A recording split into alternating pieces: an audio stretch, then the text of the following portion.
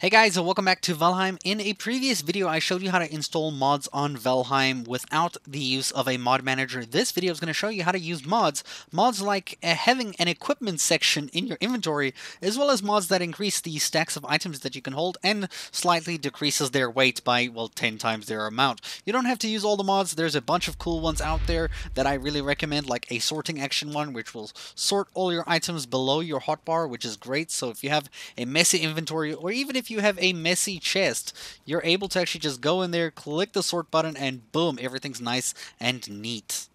But the main reason you're here for this video is to see how you do all of these mods with an automatically updated mod manager that will update your mods and make sure everything is good and nifty and you can swap between the vanilla version of the game and a modded version of the game just by a simple click, which is great. So let's go show you how to do that. So once again, I have sent you a link in the description below that you can click that will take you to the Valheim.thunderstore.io website page. Now this is a website that you're able to get Valheim mods, but what you can actually do is just simply enough get this first one over here that you can find a link to specifically. It is called R2 Modman. Basically, this is the mod maker. So we're going to click this one here and we're going to open it up here. It's important to know that R2 Modman is not a mod itself. It's a mod manager. It's more of an application that you're going to install that is going to be able to download mods and load them into your game. So click manual download here. Just save the file to your downloads folder. The file size for this is 132 megabytes, so just wait for it to finish downloading. Once the file is downloaded, go to your download folder, go right click and use WinRAR or WinZip depending what program you're using to extract the files. Just extract here. Once you've extracted the files, you'll see there are a few files in here for some reason. All we need is this first one over here, the one that says .exe. This is the R2 Modman setup file. So you're going to double click this one. You're going to install it to the any location you want to install it on your computer. It's quite simple. Go through all the clicks. I've already done this, so just install that. And then once it is done, you can actually delete these and go to your desktop where you will find a new shortcut called R2 Modman. So open R2 Modman and you'll actually be prompted with selecting which game you want. So pick which game you want, Risk of Rain 2, Dyson Sphere Program, Valheim, and just select Valheim, make sure it's highlighted in blue, click select game. It will do this little kind of like preview page. You can make a profile here. You can either just stick with default or make one. I made one for some reason. You just have to click it, it's selected in blue, click select profile to go inside, and then you can see these are my installed mods on your screen, these should already be kind of like empty. So what you're going to do is actually go to this online section here, and these are mods that are actually online, and you're going to basically use the sorting function over here to go like the download count to see the most downloaded mods on the game. And you can sort through here to find what mods you're interested. Like for example, the one that we already installed previously, the Better UI, you click this and you can see it adds minor edits to the UI.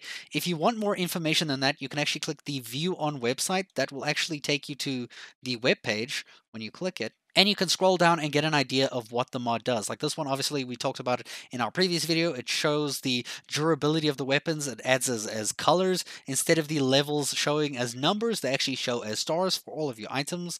And you can kind of see all sorts of things here that might help if you're trying to change some information. So back to the program. So in the program here, if you are happy with a, a mod like, okay, cool, the better UI one, I want it, I'm going to click the download button. When you download it, it will automatically install it. So you can see better UI is here. It's installed in the installed section. If you want to uninstall something or take it off, you can actually go in here and you can click disable if you just want to disable it.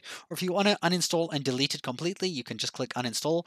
Now, it's important to know that because this mod manager will find the updates for mods in the game, when you see this little cloud icon, you can see there it says an update is available. All you have to do is click the cloud icon and it will actually just open it much like just clicking it normally. And there will be an update button right to the right side here and you can just update it, download with the dependencies, and you just let it download and update that mod. And this is how you're going to be updating your mods if they do have updates as you're playing the game. So let's go update both of them quickly. There we go. Both of our mods up to date. Looks like everything is up to date. All my mods are loaded here.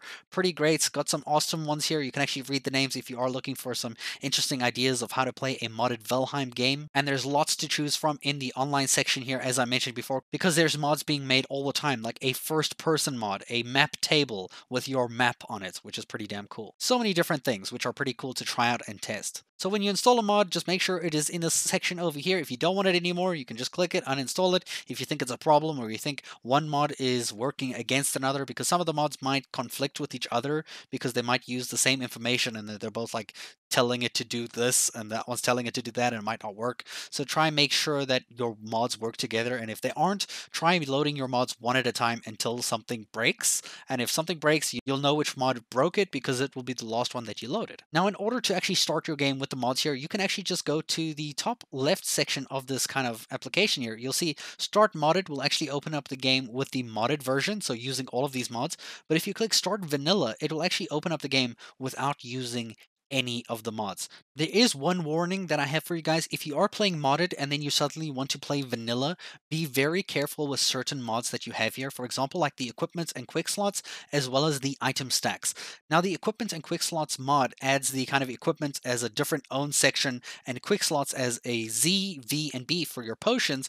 But now, if you take this mod off by clicking, like let's say, just start vanilla, it will open up your, your game. And if you go into the same world that you had all your armor on, I mean, your same character, all the armor that you had on might actually disappear because the mod's not there anymore. So that it might actually just delete everything that was supposed to be there because the game's not going to remember that the, the mod was storing your armor there. It's just going to be like, oh, you don't have no armor, dude.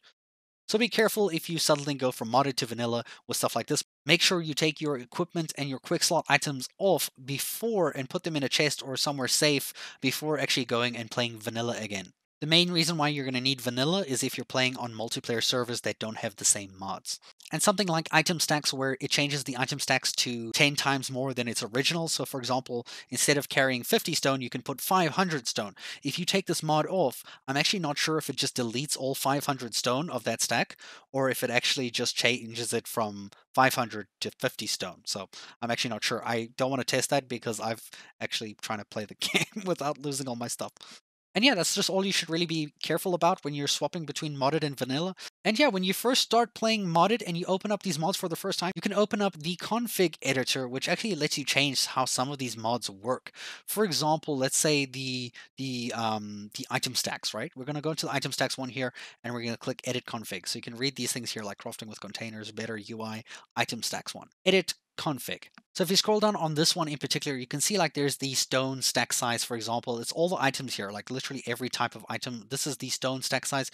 This actually changes how much the stack of stone you can carry. So if you want to set it back to 50 again, just make sure that you don't actually have stacks of 500 lying around because something bad will happen to those. Alternatively, if you want to carry like 500,000 stone like in, in, in one slot, I mean, you can do that as well, but I doubt you're going to have the carry weight for that. You can actually use this config editor to change all the things. And when you're ready and you're, you're, happy, you can just click save. I'm not going to save. I'm just going to click cancel. And you can see the rest of the configs all over here if you want to change. Though this is more advanced if you want to change your experience to what you want to experience in the game.